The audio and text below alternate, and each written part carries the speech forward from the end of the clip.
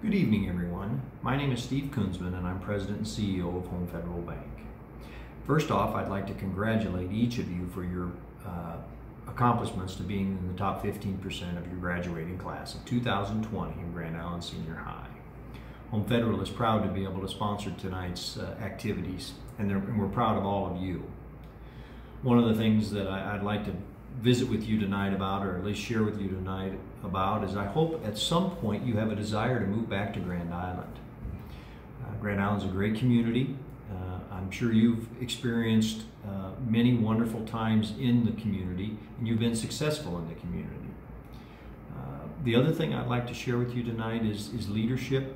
You know, these are strange times indeed, as we are experiencing because we're coming to you uh, via video instead of in person. We wish we could be there in person, as I'm sure all of you do. But as we've gone through this, I hope you've taken note of the leaders that have stepped forward in our community, in our state, and in our country, and actually worldwide, that have tried to get us through this perplexing corona, uh, coronavirus. Um, and as you as you move on with your careers and you move on into school and, and whatever your endeavors are going to be, keep leadership in mind. Either support uh, good leaders or become a good leader yourself.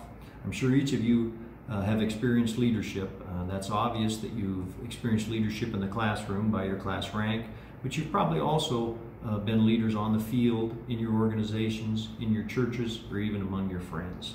Keep that up. The world needs good leaders.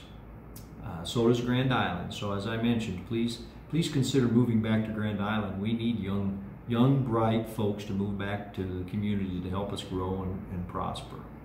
Uh, so with that, um, the one activity that it is also my pleasure to do is we get to offer a couple of scholarships, and I get to announce our scholarship winners tonight.